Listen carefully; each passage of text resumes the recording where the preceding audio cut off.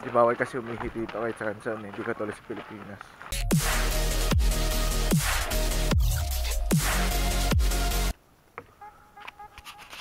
So, good morning guys. Day 2 ngayon sa Wilson prom.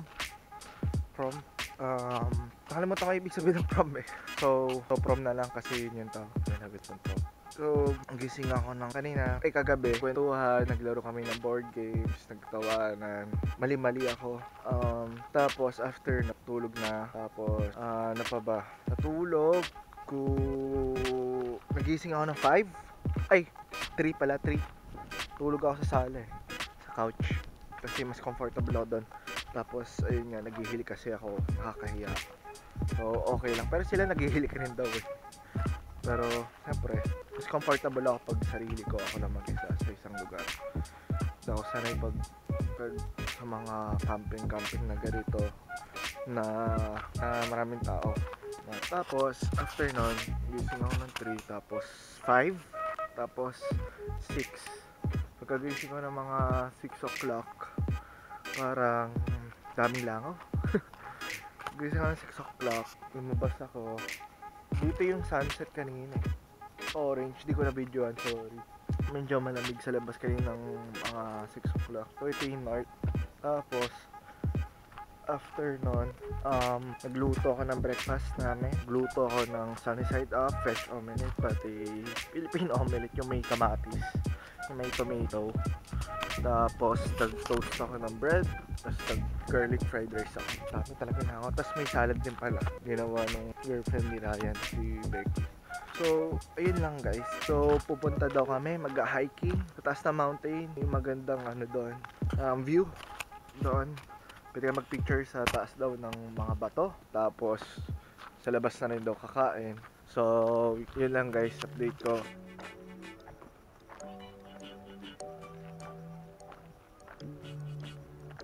So guys, what's up? Good morning ulit. And dito kami sa Tidal River. Tapos kami nakatulog na naman ako kanina sa kotse. So mag-hike dapat kami pero di namin alam kung saan ay kung available or pwede umakyat. So tatanong muna siguro kami. Ngayon, nasa mountain area kami. Nagpa-fog siya. oh. Ayun ako, kung nakikita niyo doon, medyo foggy siya. Parang Baguio lang, nagpa-fog. Yung taas. So, andito kami sa information center. Yan. Wilson Promontory National Park. So, yung mountain na to ay Mount Oberon. May 360 degrees postcard view. Yan. May Norman Beach doon. Ay, nasa Pag So, ayan. Sa Tidal River tayo. Ano ba meron dito? Marine, mga octopus, starfish, shark, island refugee, um, yun sa ilalim. Mga octopus. Mga fossils, fur seal, yun bungo ng isang seal. Eggs,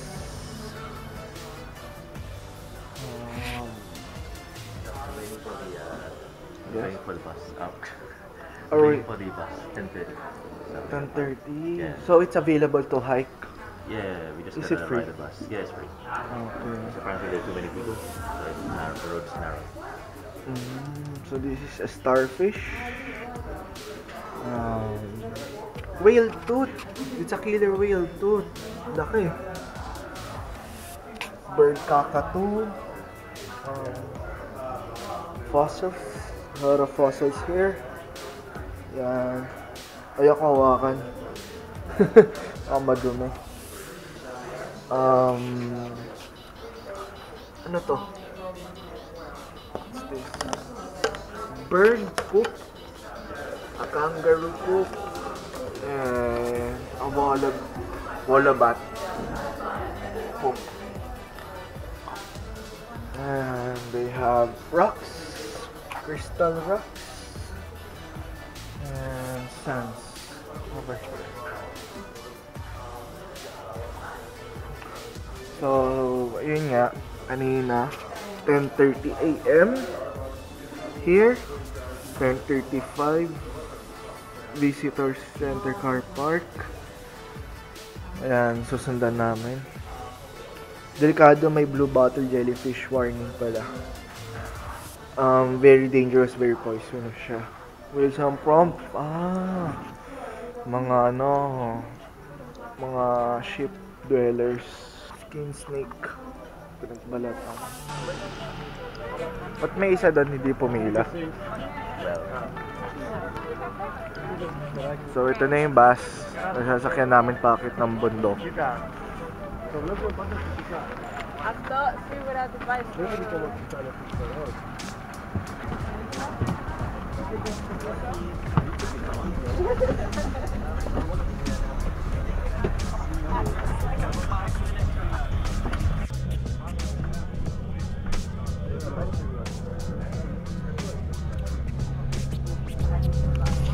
So guys, pa akyat na kami sa bundok ngayon. Sa pinakataas. So nakapas lang namin. So, kaya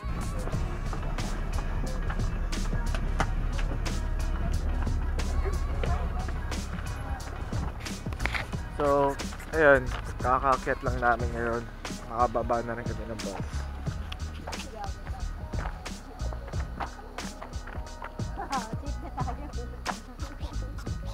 Ayun, taas oh. Ganda. Ayun na toilet. Sa sabi niya sabi niya kasi walang toilet eh. Wow, she said earlier that there's no toilet on top. Wala nang point of turning back mamaya.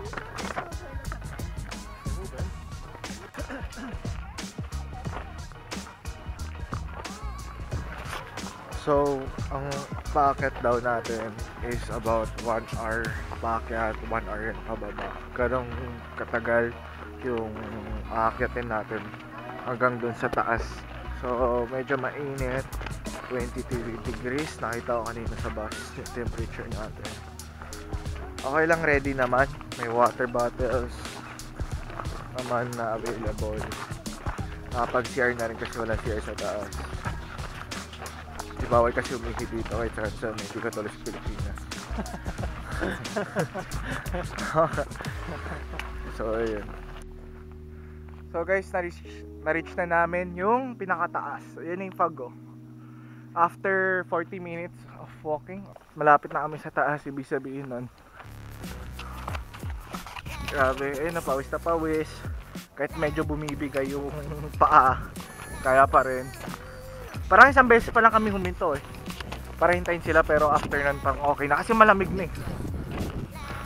Yun na pali, ito na pali yung ayun, yung satellite. Foggy na. Sarap. Tapos oh, di mo na makita yung baba, sobrang foggy. Worth it ba pre?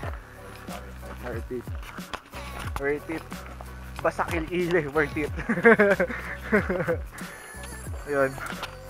So, parang second time ko na ma-experience tong mountain climbing. Isa doon yung sa Antipolo, sa dad ko. Pangalawa to. So, may pinakamataas pa pala dun eh. Aakyat tayo. Stairs! Yun yung sinasabi namin hagdanan. So, kita niyo naman kano kataas kami. Satellite na. Nihingal eh. Yun o. Ayun yung hagdanan no. Ayun o. Kita mo na. Market. Ayun. Doon na tayo umpisa. Ginupit lang ng ba to. O parang sinadya. Medyo ah. So yan, market na kami. Hagdanan na to. Medyo masigip, medyo delikado pero kapit lang. May mga hawakan naman siya. So one, ano lang siya two way kahit masikip. May pababa dito rin sila dumadaan. May pakyat dito rin dumadaan. Mas nakakatakot dito pre ah. Oo nga eh. taas na namin. Nahuli na yung mga ibang kasama namin doon. Yan. Feeling ko halfway pa lang wala na. eh. ah, ito, hagdanan na siya. Yung sa baba lang yung medyo gawa. Sadya. Ito okay, okay na. oh. Taas na guys.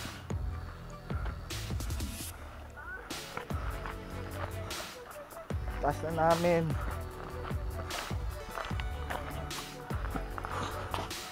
Exercise, cardio. Maya na lang. Medyo delikado. so guys, ito na highest of the highest point dito. Daming tao. Konti lang talaga yung matira matibay dito. So far kami pa lang sa grupo namin, kami Michael yung nauna. Ano masasabi mo? Worth it sila. Oh, promise worth it. Naninigas na yung paa ko dito. Parang may gumagalaw-galaw na ganon. Parang, pero okay lang talaga eh. Sobrang saya, sobrang lamig. Naka t-shirt lang ako, makiba naka-jacket. Baka nakasaan to eh. Parang wala lang sa kanila eh. Pero matira matibay. Pagdating sa taas, worth it. Grabe yun no. Kakatakot to. Parang unang tulak. Parang tulak na laglag na sila. eh. Kakatakot eh. So, tingnan natin kung ano makikita bukod sa, sa fog. Ah. Yan, nakikita nyo. Siya na yung. Yan. Sobrang mahangin. Nasa langit na highest point. Tatakot ako.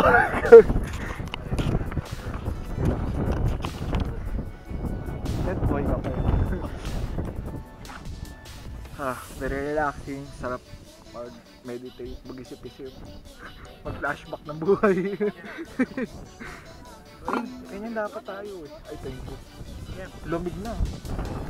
Lumamig ah. Lamig agad ang tubig oh. Yun. Dapat ganyan kami guys eh. Kakain muna. Pagdating dito, magdidi, magla-lunch. Kaya lang, wala eh. Sa labas, sa labas kami mag-lunch mamaya pagbaba. Pero worth it yung water. Kailangan nyo ng water pag aakyat talaga dito. Pati stick, tas ready talaga kayo sa equipment at um, stamina nyo. Kakayanin nyo dapat. Prepared kayo. May isa nga doon, nagbabasa lang ng libro. Ayun. Parang araw-araw dito siya. Magawain niya mag-meditate, magbasa dito. Very relaxing. Yeah. So first time ko sa Australia na makatungtong. At makatungtong sa pag na ganito. First time ko makatungtong sa ganitong taas. Tipong wala ka na talaga makikita kahit bangin, di mo na alam. di mo na makikita. Wala nga siyang harang-harang eh kung mapapansin nyo kanina. Ayan o. Walang harang-harang. Parang walk on your own, bahala na si God sa'yo. Total sa kaya na. So, cautious na lang kayo kung magpupunta kayo dito. Be cautious, be alert, be safe always. At strengthen nyo yung muscles at bones nyo. Stamina nyo. Dapat nasa condition kayo. Hindi katulad mga ibang kasama natin. Kasama namin. Di na namin alam kung nasaan. Kinuha na siguro ng pag. alam mo yung movie na yun? Yung ano yun? Yung... Ayan na, nakarating na sila.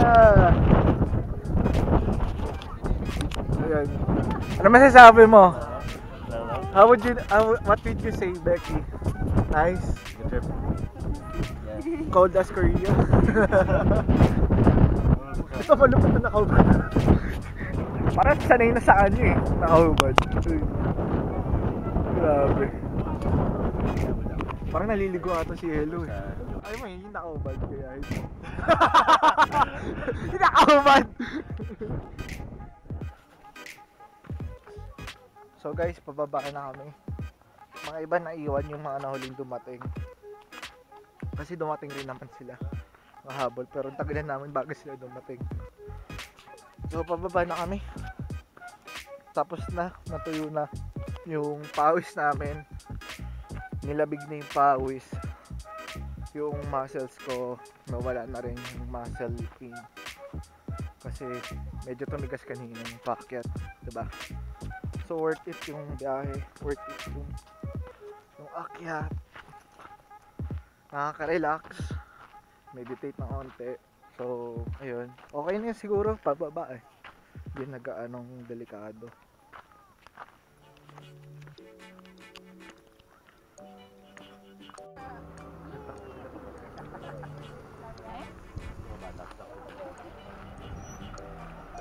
So kakarating lang namin sa baba ng bundok. Umulan kaya medyo basa rin kami. Medyo kala namin ambon lang tapos biglang lumakas ng konti tapos ngayon parang bumabalik lang ulan eh. Huminto. Parang bumabalik na. Buti na lang dumating yung shuttle namin bus pabalik doon sa sinakyan namin. So, basang-basa kami. Parang pawis, natuyo, nabasa, natuyo. Gininaw. Sak- sakit yun. Ah, tignan mo yung tignan nyo yung hangin oh. Medyo kung ewan ko nakikita nyo. Hintay lang namin. Yung shuttle tapos makakapasok.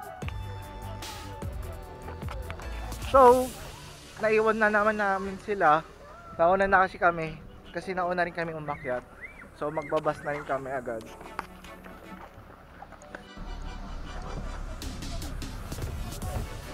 Ah. So, nakababa na rin kami sa Mount Oberon. Yung pangalan ng mountain na inakyat namin. So, gagawin namin, kakain muna kami ng lunch kasi gutom na gutom. Pagod, naubos, tapos punta kami boardwalk kung may time.